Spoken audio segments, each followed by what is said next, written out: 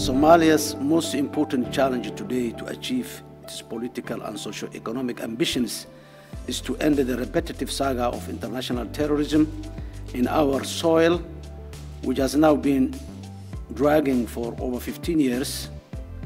15 years of firefighting and uncertainty is just too long and strengthening Somalia's security and that of the wider region and world requires fresh new thinking and strategies to end the scourge of terrorism. Our government, like some others in Africa, is on the front line combating international terrorism within some parts of our country.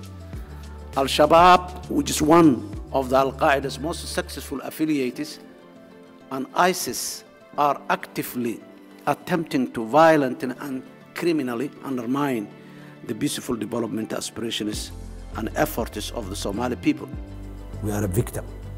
We do not contribute to the environmental disaster in the world, but we receive the largest uh, uh, uh, share of the consequences. Throughout the year, either we are in a flood situation, where the territory, the agricultural land is flooded, or we are in a drought situation where there is a scarcity of water. So we are, because of lack of infrastructure development, the lack of uh, flood uh, control mechanism not in place, lack of all this put together. As you rightly said, four consecutive years the, the rains were not there, and the fifth are now predicted that it will not be good one.